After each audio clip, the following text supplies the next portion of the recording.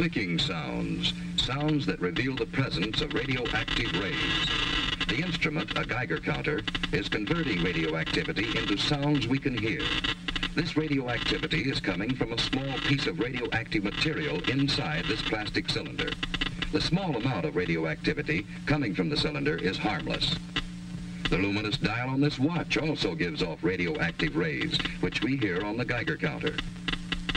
Even when there's no radioactive material near, the Geiger counter continues to click.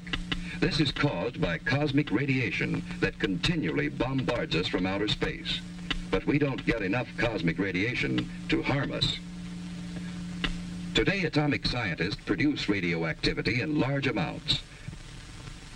Radioactivity and radioactive materials have many peacetime uses.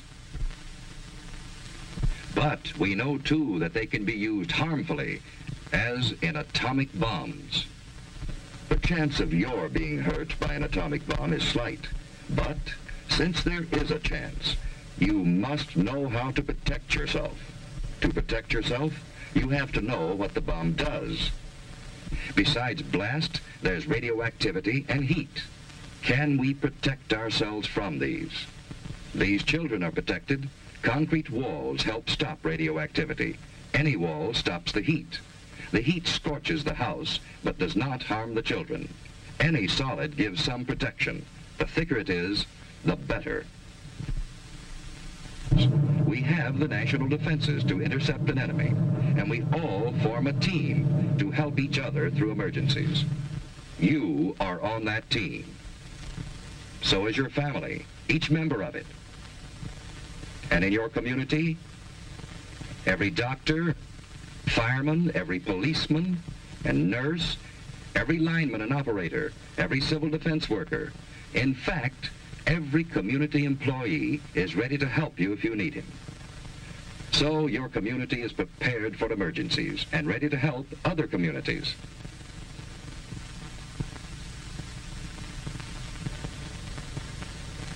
We have state and national headquarters for civil defense. And your city has a civil defense corps.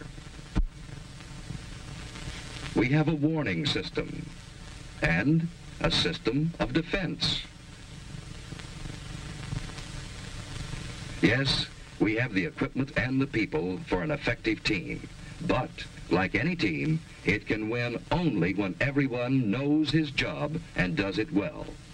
What is your job?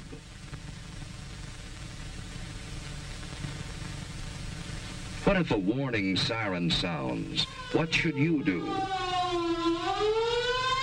Look for cover, the nearest cover. Don't try to make it home unless home is the nearest place to go. Don't hesitate. Find cover.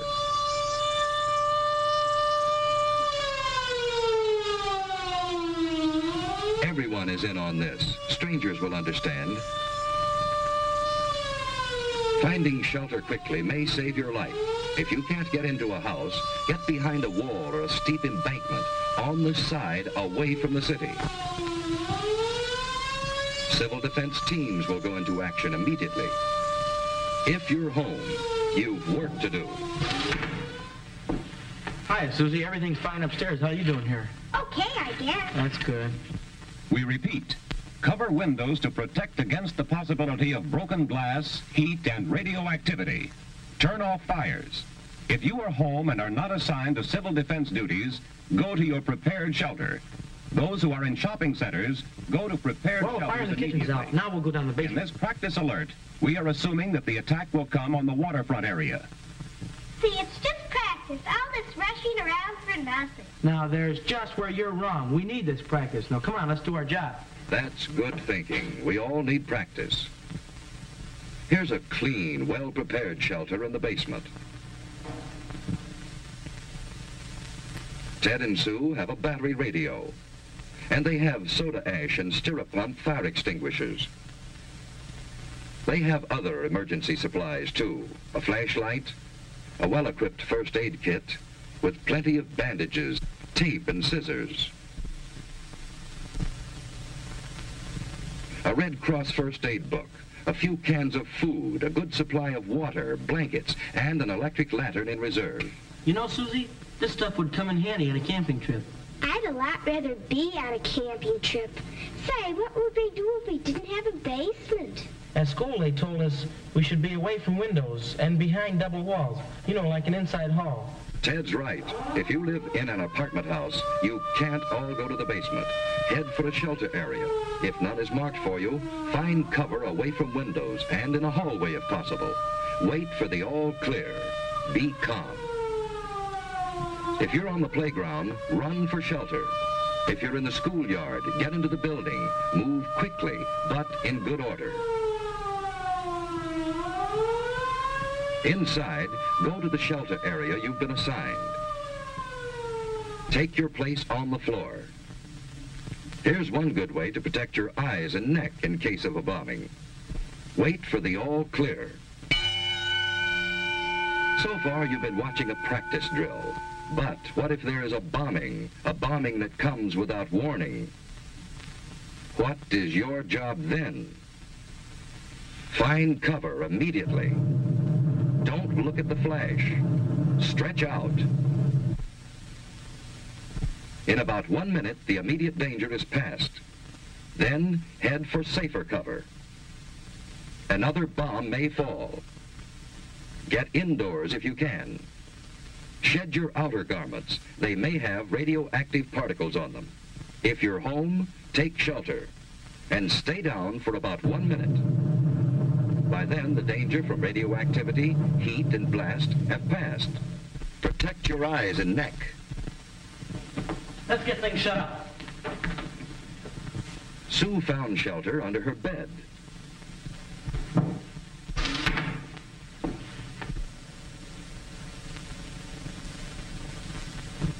Dad, let's get the battery set. When the house current is off, that battery radio is essential. Keep tuned in.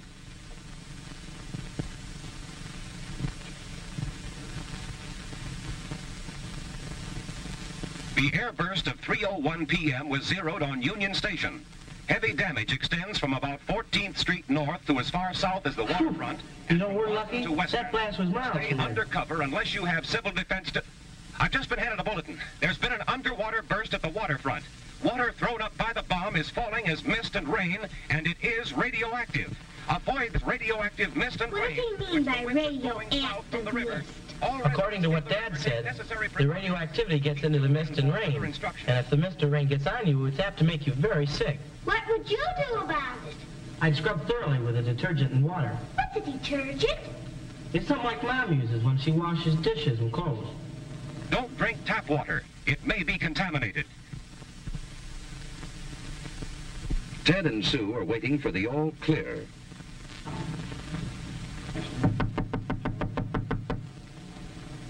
I'll see who it is. Hello, who's there? It's your block warden, Mr. Carlson. Come on in, Mr. Carlson. Hello, Ted. Hello. Ted, this is Mr. Franklin, our radiological monitor. He's here to check for any radioactivity.